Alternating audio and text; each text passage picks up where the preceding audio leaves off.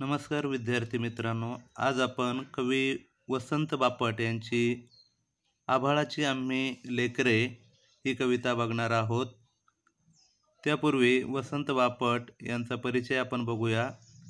जन्म एकोणावीसशे बावीस आणि मृत्यू दोन हजार दोनमध्ये प्रसिद्ध कवी त्यांची अकरावी दिशा सकीना प्रवासाच्या कविता शिंग फुंकिले रनी मानसी शूरमर्दाचा पो पोवाडा मेघहृदय तेजसी राजसी हे काव्यसंग्रह प्रसिद्ध आहेत. त्याचबरोबर चंगामंगा अबडक ति तबडक आम्ही बालगोविंद हे बालवाङ्मय त्याचबरोबर बारागावचं पाणी हे प्रवास वर्णन इत्यादी पुस्तके प्रसिद्ध आहेत.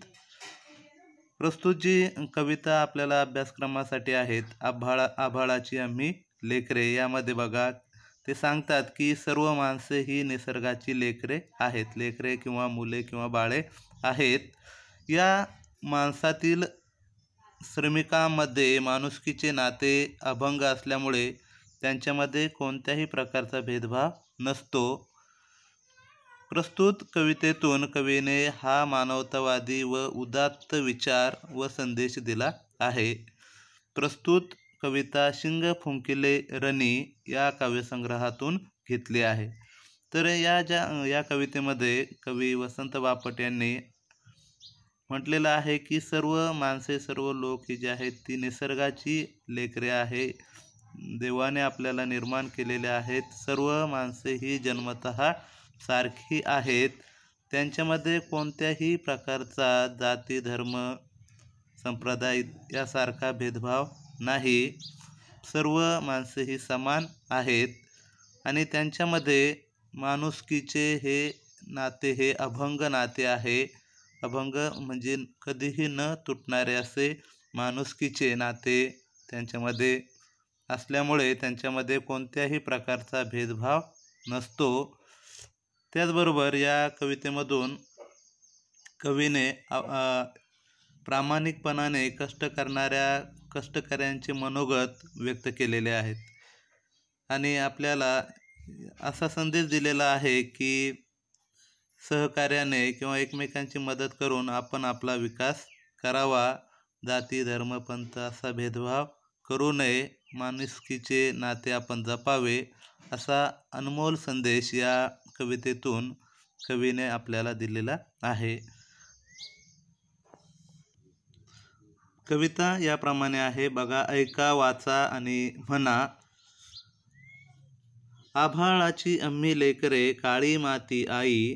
जात वेगळी नाही अम्मा धर्म वेगळा नाही. श्रमगंगेच्या तीरावरती कष्टकऱ्यांची अमुची वस्ती. नाव वेगळे नाही अम्मा गाव वेगळा नाही. इमान आम्हा एकच ठावे घाम गाळूने काम करावे. मार्ग वेगळा नाही आम्हा स्वर्ग वेगळा नाही. माणुसकीचे अभंग नाते आम्हीच आमुचे भाग्य विधाते. पंथ वेगळा नाही आम्हा संत वेगळा नाही. कोटी कोटी हे बळकट बाहू जगन्नाथ जगन्नाथ रथ ओढून नेऊ. आस वेगळी नाही आम्हा ध्यास वेगळा नाही. तर या कवितेमध्ये आलेले जे काही नवीन शब्द आहेत त्यामध्ये लेकरे जे आहे लेकरे म्हणजे मुले किंवा बाळे. त्यानंतर काळी आ माती कोणाला म्हटलं आहे तर? शेत जे आहे शेताला या ठिकाणी किंवा धरतीला या ठिकाणी काळी माती म्हटलेलं आहे.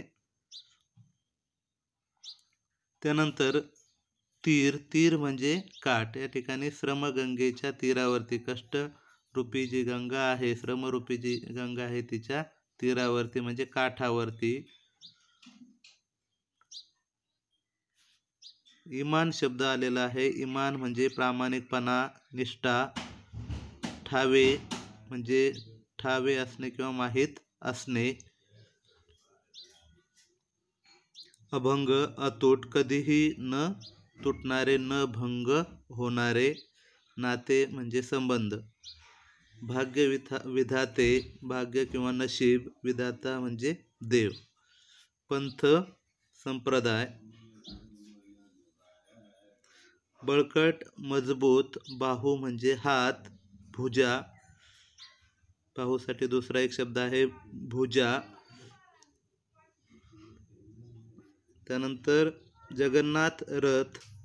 या ठिकाणी जगन्नाथ रथ या ठिकाणी जो अर्थ आलेला आहे की सामूहिकपणाने किंवा एकत्रित प्र पणाने प्रयत्नाने केलेले जे मोठे कार्य आहे मोठे काम जे आहे त्याला या ठिकाणी जगन्नाथ रथ म्हटलेलं आहे. त्यानंतर आस म्हणजे इच्छा आणि ध्यास म्हणजे तीव्र इच्छा. तर यासारखे काही नवीन शब्द आलेले आहेत. आपण कवितेचे विश्लेषण बघूया स्पष्टीकरण करूया.